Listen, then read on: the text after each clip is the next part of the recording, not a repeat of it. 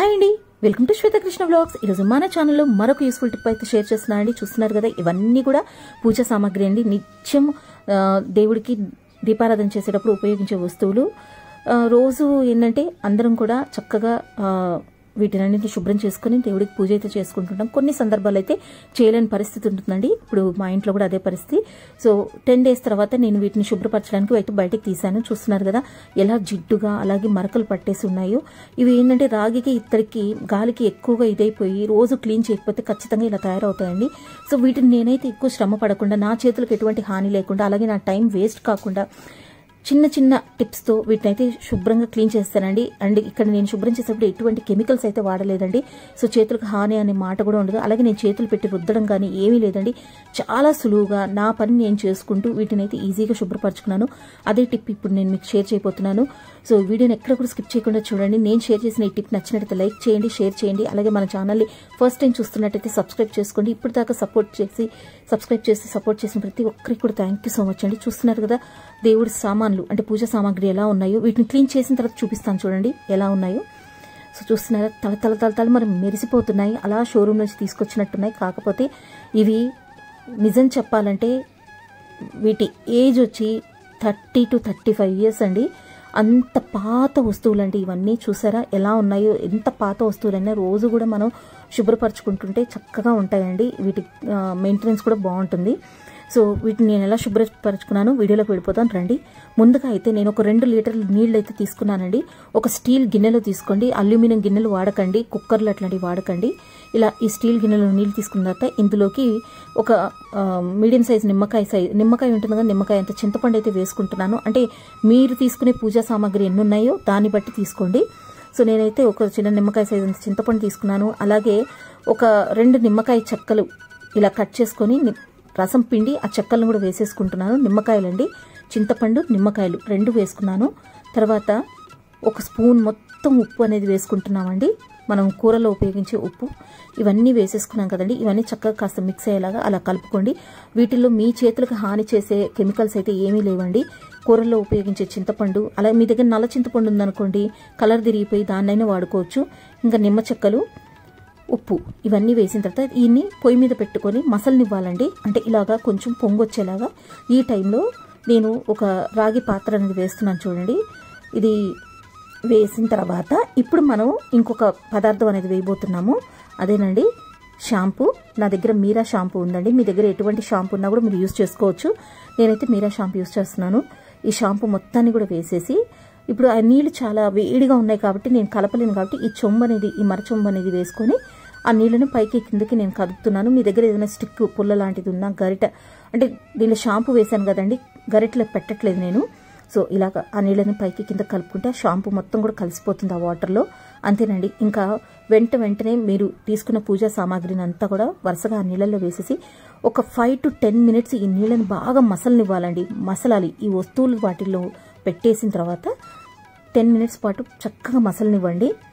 అంటే ఇక్కడ శ్రమ అంటే మనకి టైం వేస్ట్ ఉండకుండా మనకి ఎటువంటి శ్రమ లేకుండా మన చేతులకు ఎటువంటి హాని లేకుండా వీటిని ఈజీగా ఎలా శుభ్రపరచుకుంటాం అనేదే ఈ వీడియో. సో చూడండి. ఇలా అన్నీ కూడా ఒక్కొక్క వస్తువు చూస్తున్నారు కదా రంగులు ఎలా ఉన్నాయో చూసారు కదా ఇవి టెన్ మినిట్స్ తర్వాత వీటి కలర్ మళ్ళీ మీరు చూస్తారు ఎలా ఉంటుందో. నేనైతే పొయ్యి మించి డైరెక్ట్ తీసి చూపిస్తాను మీకు. చూడండి ప్రతిదీ కూడా వేసేసుకున్నాము. ఇప్పుడు ఈ పళ్ళెము అందులో పట్టదు కాబట్టి నేను ఈ పళ్ళాన్ని తిరగేసి పెడుతున్నానండి దాని మీద. ఆవిరి తగిలి అది కొంచెం కలర్ మారే ఛాన్సెస్ ఉంటాయన్న ఉద్దేశంతో అలా అయితే పెడుతున్నాను. ఇప్పుడు హై ఫ్లేమ్ మీద పెట్టేసేసి బాగా పొంగైతే రానివ్వాలండి. టెన్ మినిట్స్ ఖచ్చితంగా మసులుతాయండి. టెన్ మినిట్స్ మసలాలు కూడా చూడండి ఇలాగా చూసారా ఎలా ఉడుకుతున్నాయి వాటర్. ఇప్పుడు పళ్ళెం తీసాను కదా ఈ వాటర్ కొన్ని మీకు ఆ పళ్ళెం మీద పోసి చూపిస్తాను. చూడండి చొంపైతే ఎలా అయిపోయిందో. చక్కగా అసలు ఎంత తెల్లగా వచ్చేసిందో నేనైతే చేయి పెట్టి రుద్దాల్సిన అవసరమే లేదు. డైరెక్ట్ రన్నింగ్ ట్యాప్ కింద పెట్టేసి కడిగేసి గుడ్డ వేసి మంచి పొడి గుడ్డ వేసి తుడి చేసుకొని పూజకి సిద్ధం చేసేసుకోవచ్చండి. పూజ సామాగ్రి అయితే అలా సిద్ధమైపోయినాయి. చూస్తున్నారు కదా? ఇంకా నీళ్ళు మసులుతూనే ఉన్నాయి. మీకు డైరెక్ట్ చూపిస్తున్నాను. ఎలా ఉన్నాయి? మనం పది నిమిషాల తర్వాత మనం వేసిన పూజా సామాగ్రి అన్నీ కూడా ఎలా ఉన్నాయో చూపిస్తున్నాను చూడండి. అలాగే ఈ వాటర్ని ఇప్పుడు పళ్ళెం మీద వేసి చూపిస్తున్నాను చూడండి. దీన్ని నేను అసలు శుభ్రపరచలేదు చూడండి. వేసిన వెంటనే ఎంత డిఫరెన్స్ అనేది వచ్చిందో చూసారా? మధ్యలో కలర్ చూడండి ఎలా చేంజ్ అయిందో. ఈ వాటర్ అంత పవర్ఫుల్ అండి.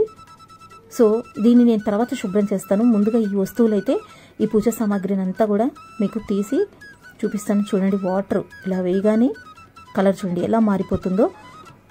సో ఇది ఎంత ఎఫెక్టివ్ మీకు చూపించాలి కాబట్టి ఇలా చూపిస్తున్నానండి. ఈ పళ్ళని మళ్ళీ నేను వెడల్పాటి గిన్నెలో వేసుకొని ఆ వాటర్ పోసి మళ్ళీ కాసేపు నానబెట్టుకొని క్లీన్ అయితే చేసుకుంటాను. సో ఇప్పుడు నెమ్మదిగా వీటన్నిటిని కూడా ఒక్కొక్కటిగా మనం బయట తీసి చూపిస్తాను చూడండి.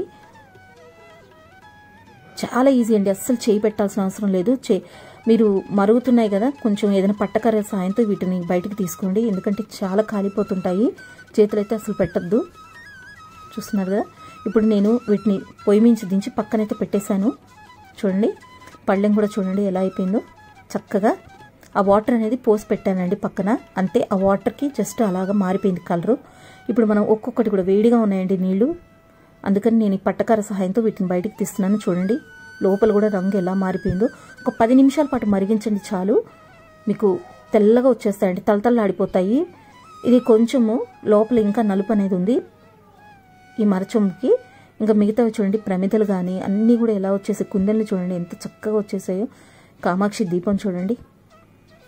అస్సలు ఇందాక పచ్చగా ఉన్నిందండి ఆయిల్. చేయి కాలుతుంది పట్టుకోలేకపోతున్నాను అందుకే చూడండి ఎలా ఉందో. చాలా వేడిగా ఉన్నాయండి. జాగ్రత్తగా ఉండండి చేతులు కాలుతాయి. ఇలా ప్రతిదీ కూడా పట్టకర సహాయంతో తీయండి చూడండి. కడ్డీలు పెట్టుకునేది అగరత్తులు పెట్టుకునేది ఎలా ఉందో. మంచి కలర్ అయితే వచ్చేసాయండి. హారతి ఇచ్చేది. అలాగే గంట. ఇంకా ఉద్ధరణి అండి. చూస్తున్నారా? అస్సలు పూర్తిగా కలర్ ఇదైతే చాలా చాలా బాగా వచ్చేసిందండి.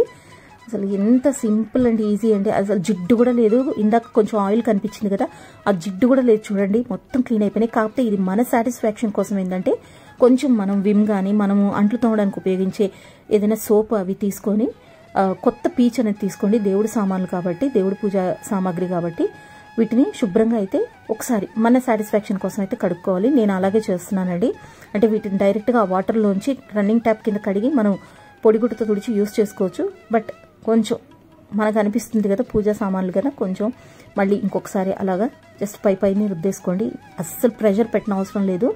మనం మామూలుగా స్టీల్ గిన్నెలు ఎలా కడుగుతామో అలా కడిగేసుకోవడం అంతేనండి. చూస్తున్నారు కదా? నేనైతే అలాగే రుద్దుతున్నాను. ఇప్పుడు వీటన్నిటిని రన్నింగ్ ట్యాప్ పెట్టి కింద పెట్టేసి శుభ్రంగా అయితే కడిగేసుకోవాలండి. కడిగి మీరు పొడిగుడ్డతో తుడిచేశారనుకోండి ఇప్పుడు తడిగా ఉన్నాయి కదా వీటిని పొడిగుడ్డతో తుడిస్తే ఇవి మళ్ళీ మరకలు పట్టకుండా ఉంటాయండి. ముఖ్యంగా రాగికి అయితే మీకు మరకలు పట్టిపోతాయి తొందరగా చుక్కలు చుక్కలుగా పడిపోతాయి. వెంటనే అయితే పొడిగుడ్డతో తుడిచేసుకోండి. చూస్తున్నారు కదా? అంటే నేను చూడండి మొత్తం కూడా అసలు ఇందాకే చూపించాను మీకు ఉద్దరణ ఎలా ఉందో దానిలోంచి తీసిన తర్వాత ఇప్పుడు పళ్ళని చూపిస్తానండి. పై భాగం వరకు నీళ్ళు పోసి పెట్టానండి. కింద భాగం నేను తడపలేదు.